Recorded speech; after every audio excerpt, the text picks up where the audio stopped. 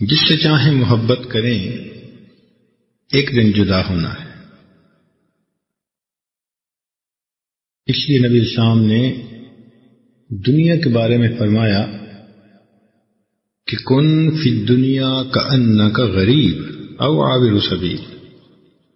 تم دنیا میں زندگی گزارو جیسے کوئی پردیسی ہوتا ہے یا راستہ چلنے والا مسافر ہوتا ہے۔ ہمارا وطن اصلی جنت ہے۔ یہ ہمارا وطن اقامت ہے۔ کچھ مدت کے لیے ہم یہاں آئے ہیں۔ پھر واپس اپنے وطن لوٹنا ہے۔ اب یہ جو تھوڑی سی زندگی ہے، یہ ہماری امتحان ہے۔ اس لیے فرمایا اب دنیا دار المہن دنیا امتحان گاہ ہے۔ یہ دنیا سیر گاہ نہیں تماشا گاہ نہیں قیام گاہ نہیں آرام گاہ نہیں، یہ امتحان گاہ ہے۔ افسوس کہ ہم نے اس کو چرا گاہ بنا لیا۔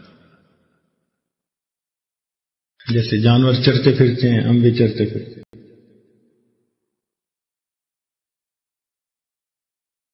اللہ تعالیٰ فرماتے ہیں، لقد خلقنا الانسان فی قبل۔ تحقیق ہم نے انسان کو مشقت کے لیے پیدا کیا۔ کہ اس دنیا میں رہ کر یہ محنت کرے۔ جب امتحان ہوتا ہے، تو وہ کام کا وقت ہوتا ہے۔ آرام کا وقت نہیں ہوتا۔ آپ نے کبھی دیکھا؟ کہ تین گھنٹے کا جو پرچہ ہوتا ہے، اس تین گھنٹے میں کوئی والی بال کا میچ کھیلے۔ کہیں گے، نہیں بھائی، یہ تو کام کا وقت ہے۔ یا تین گھنٹے میں کوئی آدمی لیٹ کے سو جائے آرام سے۔ کہیں گے، یہ کام کا وقت ہے۔ جب امتحان سے فارغ ہوں گے، پھر آرام کا وقت ہوگا۔ اور جب نتیجہ آئے گا تو وہ انعام کا وقت ہوگا۔ تو یہ دنیا کام جگہ، قبر آرام کی جگہ اور جنت انعام کی جگہ ہے۔ تو انعام تو انہیں کو ملتا ہے نا جو امتحان میں اچھے نمبر لے۔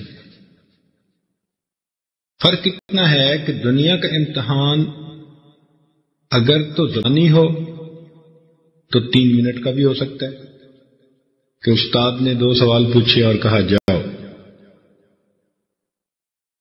اور کلمی امتحان تین گھنٹے کا۔